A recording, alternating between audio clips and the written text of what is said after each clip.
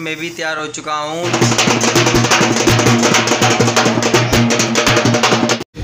लगाएँगे कृष्ण का खजा?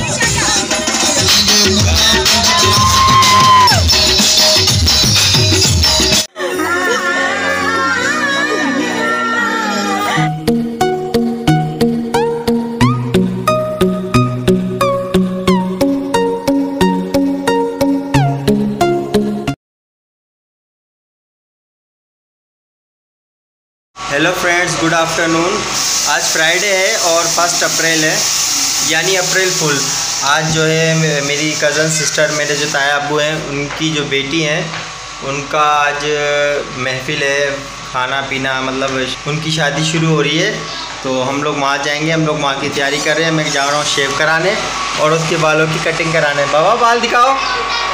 अरे इसके बाल देखो कैसे हो रहे हैं। अभी इसके बाल कट रहे हैं। ये ये कटवा ये इसकी कटिंग होगी अच्छा अच्छा।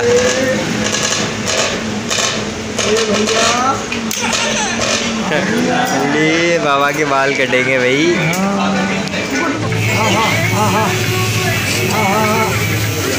बस नाक निकल गई। नाक कटिंग होगी अच्छी वाली। चाचा की वजह से बनवा रहा सही। कटिंग होगी अच्छी वाली।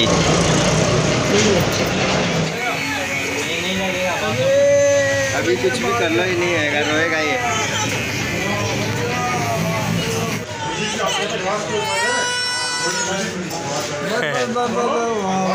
हीरो बना दिया भाई तू। बना दिया अबे बस। एक दो बैठ जा बैठ जा हो गया। आ, रो रहा है देख।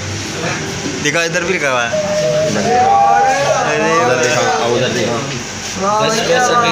बस कैसा हो रहा है रंग कैसा हो रहा है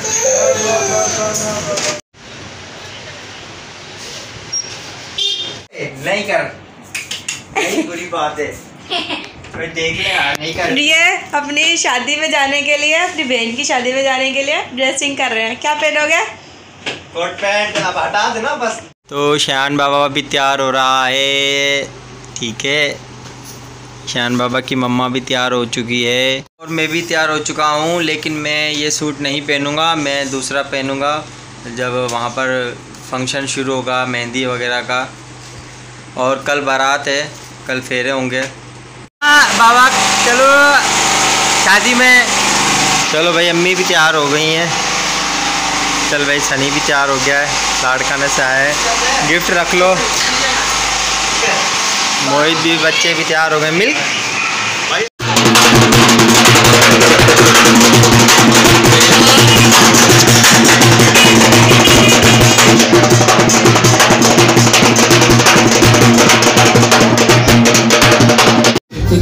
लगाएँगे। कृष्ण का खजाना वो लूट लूट जाएँगे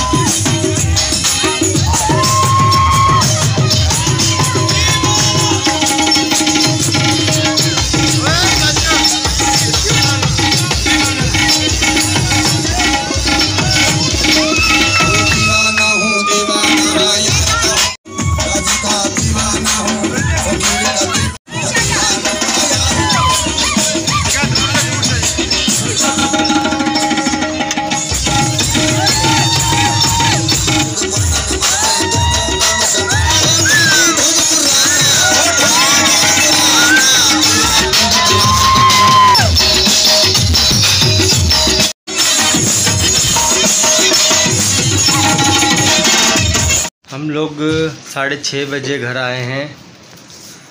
साढ़े छः और बहुत थक गए हैं।